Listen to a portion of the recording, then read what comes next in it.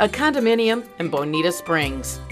Located in a gated golf community, this in unit condo features three bedrooms and two baths. The open floor plan includes a charming kitchen and dining room. Sliders lead you to the covered porch where you can enjoy views of the golf course 15th fairway. Some of the amenities include a private pool and a clubhouse with a fitness room.